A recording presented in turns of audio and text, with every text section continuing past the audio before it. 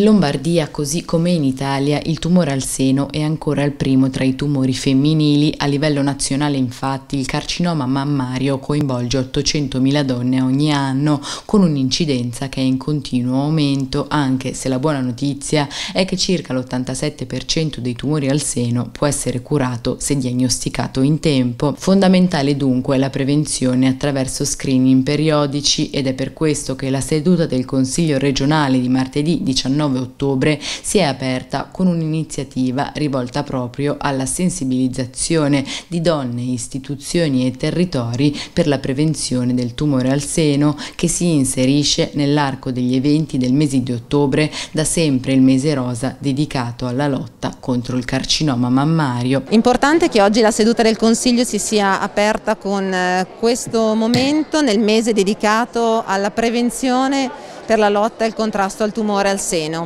In questi anni Regione Lombardia, il Consiglio regionale con eh, il personale sanitario e le associazioni di volontariato ha fatto un lungo percorso proprio a favore della prevenzione con l'ampliamento importante delle fasce di screening, con dei percorsi mirati all'interno delle nostre breast unit che sono dei centri di assoluta eccellenza per la lotta al tumore al seno. All'incontro erano presenti anche le rappresentanti delle associazioni impegnate sul tema, la Lilt Lombardia con la sua presidente Silvia Villa, Europa Donna con la presidente Rossana D'Antona e Salute Donna con la vicepresidente Rita Vetere. La cosa che mi interessa di più alla fine di questa giornata è chiedere alle donne di volersi un po' bene, cioè noi abbiamo parlato di tutto quello che fanno le istituzioni, di tutto quello che fa il volontariato, ma la cosa essenziale è che anche le persone si curino. Noi diciamo il paziente è al centro della cura, ma deve mettersi anche lui al centro. Oggi abbiamo terapie che sono mirate e non sono più chemioterapie.